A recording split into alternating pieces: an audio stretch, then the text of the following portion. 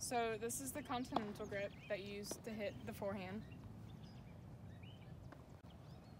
Alright, so when the ball's coming, you got your grip, and you move your shoulders like this, and your feet, and you bend your knees and your elbow, and then you go low to high and swing.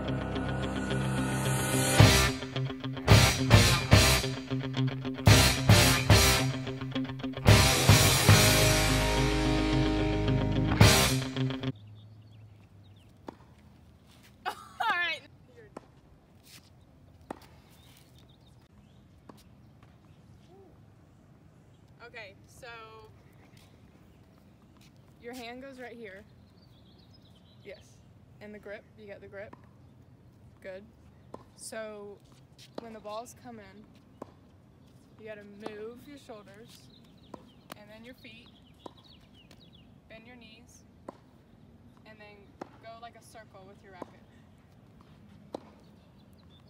That's good. That's good.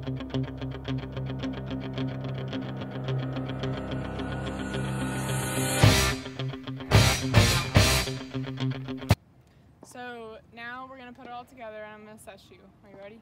Yep, okay.